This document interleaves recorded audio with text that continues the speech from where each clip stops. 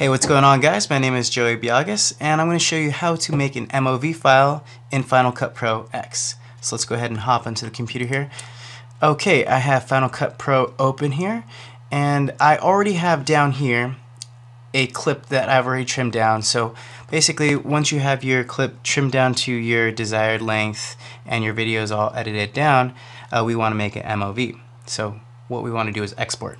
Alright, so Let's go ahead and cruise up to the top here and click on share.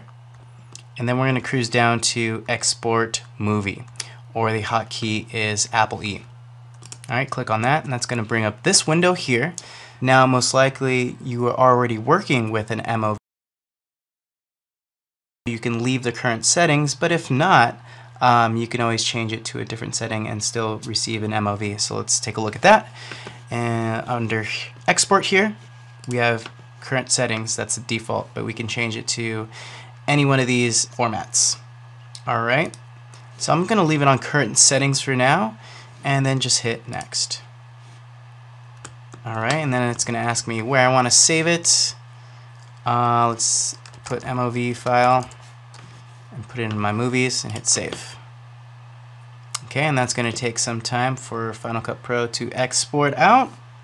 And just like that, it'll open up QuickTime for you and you can view your MOV file. But that's pretty much it and how you make an MOV file from Final Cut Pro X. So if you do have any other questions, please let us know. But thank you for watching.